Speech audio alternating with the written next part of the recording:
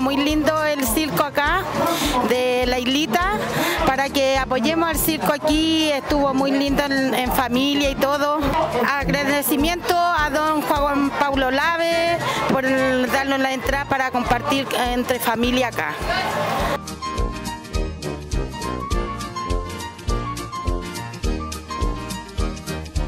Muy buena, muy entretenida. Hacía mucho tiempo que no venía a un circo.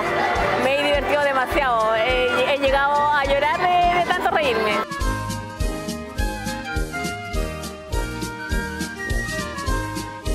Me ría tanto, me rí.